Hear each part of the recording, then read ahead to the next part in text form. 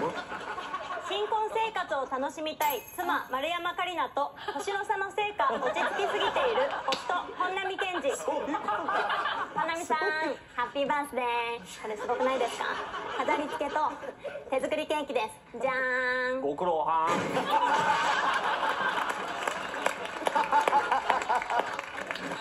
本並さんだったのね。いいね。